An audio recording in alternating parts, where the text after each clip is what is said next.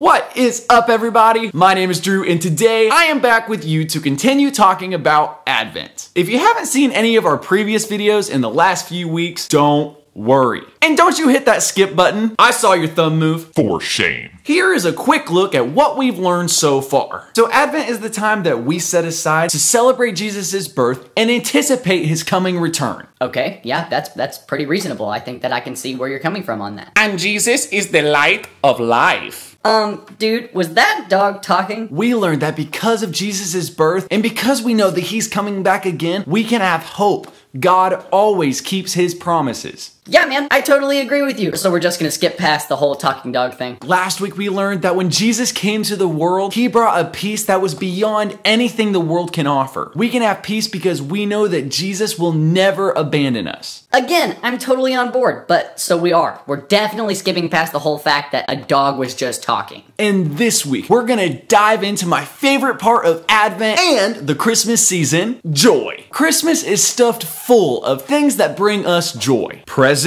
Christmas snacks, and decorating the Christmas tree. But as fun as those things are, they only scratch the surface of our true source of joy. Let's check out Luke chapter 2, verses 8 through 12. That night there were shepherds staying in the fields nearby, guarding their flocks of sheep. Suddenly, an angel of the Lord appeared to them, and the radiance of God's glory surrounded them. They were terrified. But the angel reassured them. Don't be afraid, he said. I bring you good news that will bring great joy to all people. The Savior, yes, the Messiah, the Lord, has been born today in Bethlehem, in the city of David. And you will recognize him by this sign. You will find a baby wrapped in snuggly strips of cloth, lying in a manger. Did you catch that? The angels told the shepherds that the news of Jesus' birth was meant to bring joy to all people. And that didn't mean just all the people on the earth 2,000 years ago. That's when Jesus was born. They meant all people, as in the rest of time, as in forever. Forever. Forever. Forever.